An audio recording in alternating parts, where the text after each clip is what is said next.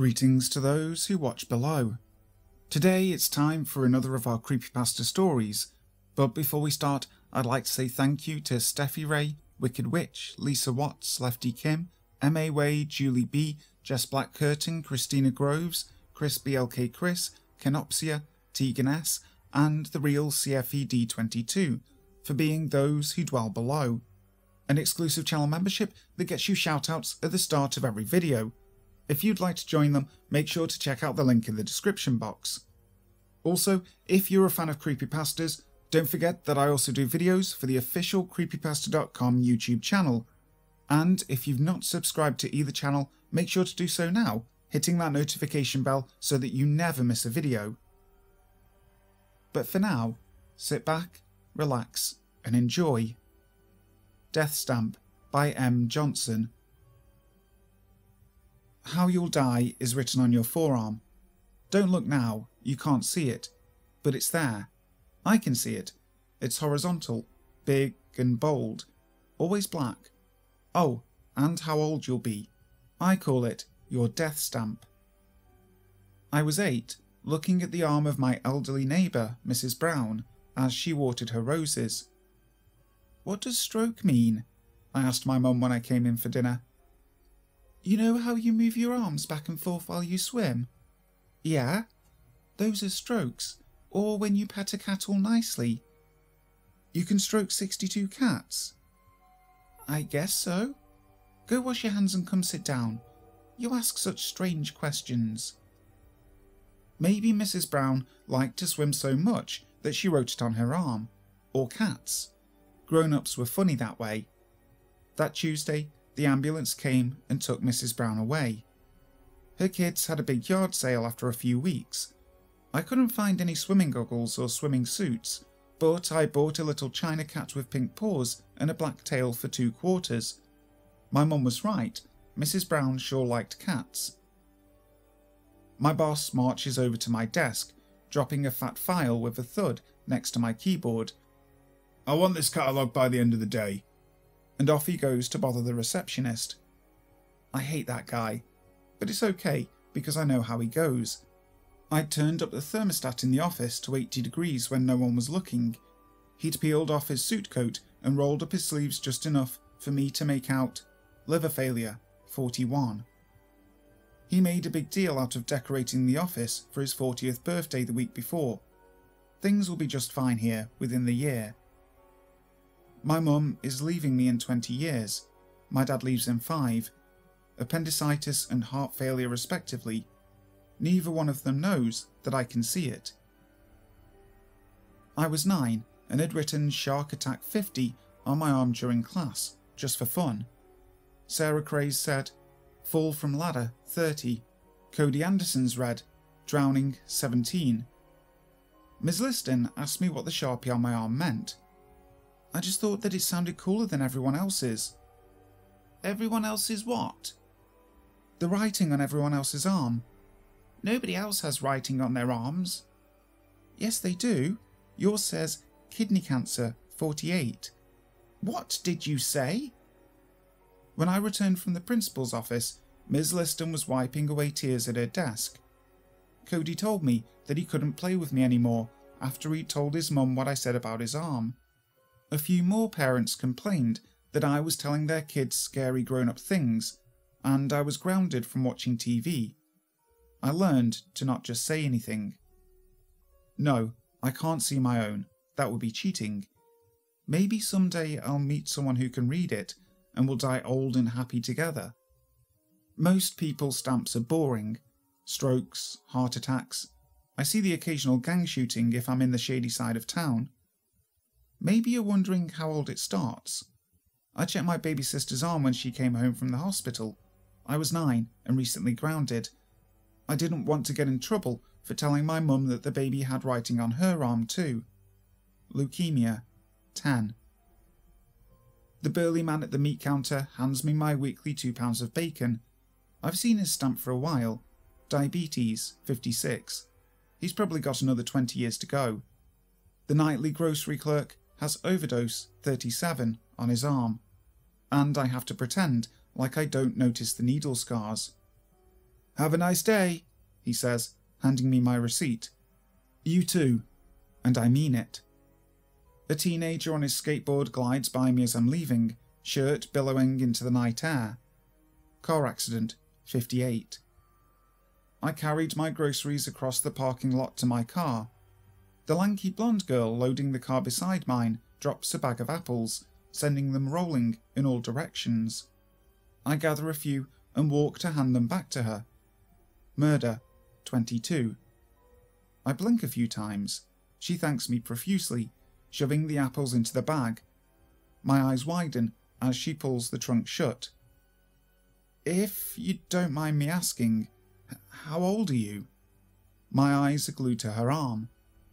She stops, eyebrows drawing together. Twenty-two, and shuts the trunk with a loud thud. I'm left standing behind the car, hands shaking. Her brake lights turn on, and only the sound of a honk reminds me to move out of the way. She drives by, glaring out the window. My heart pounds. I sprint to my car, throwing the single bag into the passenger seat. Do I follow her? Do I have enough time to warn her? I've never tried to change the stamp. Maybe her birthday isn't for another year, and she'll be okay until then. Maybe she has time. Maybe it'll change. I think of Halloween and decide to follow, just in case. I lag behind a bit, memorising the digits of her licence plate as we shuffle through traffic.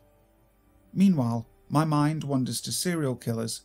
Grisly, gory, left for dead in trunks of cars or ditches by highways. Pain. Always pain. We pull into the parking lot behind the university dorms. I pass by as she parks, making sure to pull into an obscure spot at the end of the row. I sit in my car and watch in my rearview mirror. She gets out, grabs two bags from the trunk, and walks to the building. My heart pounds as I open the door. One, breathe. Two, breathe. Stop. I walk faster, matching my heartbeat. The girl opens door 116, balancing one bag on her knee before turning the knob and stepping through. I stay hidden under the shadow of the stairs.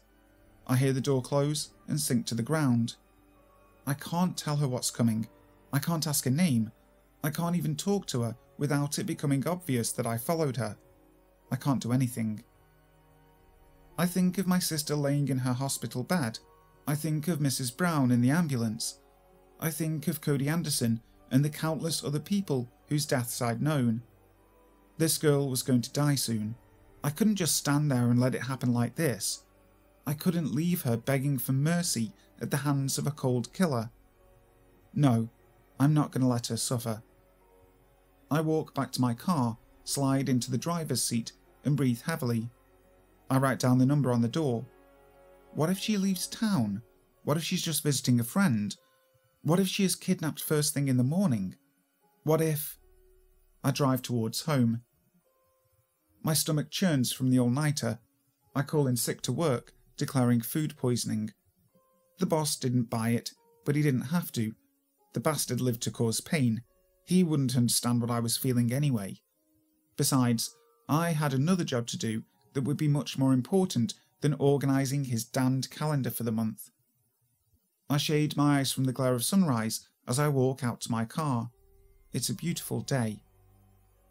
The man stocking the shelf has a giant alcohol poisoning 32 staring from beneath his sleeve. I step around him to grab the paper towels.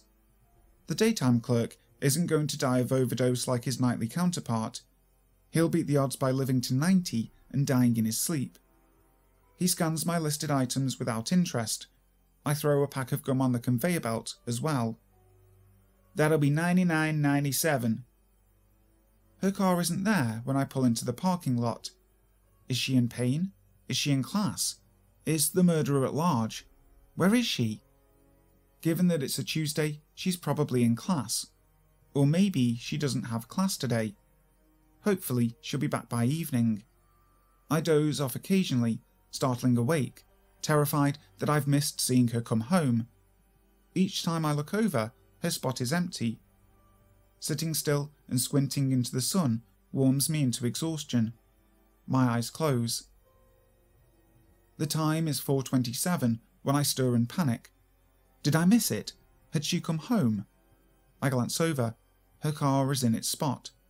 I sigh with relief. At least she made it home safely. According to my late night calculations, the sun is due to set at 6:28 p.m.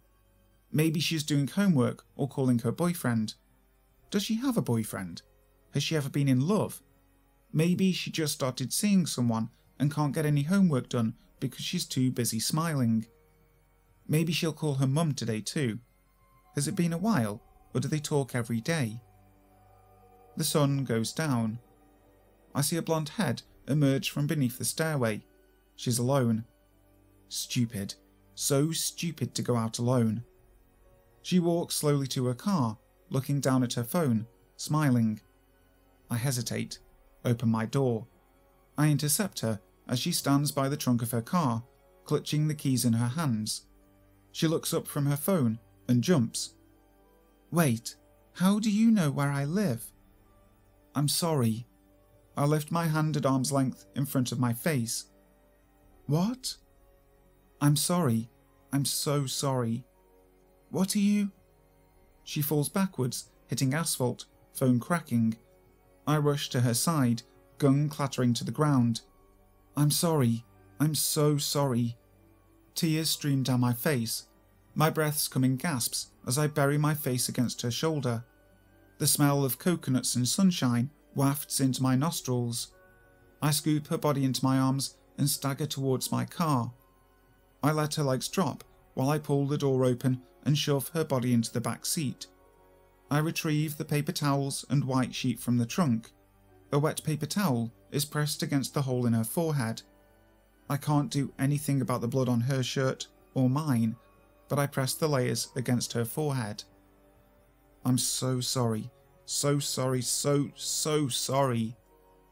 Her tan skin pales, her brown eyes remain open, seemingly staring upwards. I pull the corner of the fitted sheet over her head and tuck it around her body. The stamp on her arm is fading. I stare. The stamp has never gone away in front of my eyes before. My bleary eyes open to the burning sensation in my forearm. Black letters blazing. Suicide 29. Hi guys, thank you so much for listening to today's video. I really hope you enjoyed it. If you did, make sure to leave a like and also subscribe to the channel if you haven't already. Also, if you really, really like it, you can leave a super thanks as a tip on the video, which honestly really helps out. So, until next time, sleep tight.